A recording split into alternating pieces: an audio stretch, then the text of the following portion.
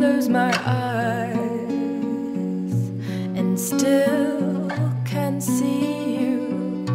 I sigh so deeply, I am left hollow. I fear that this fire will see.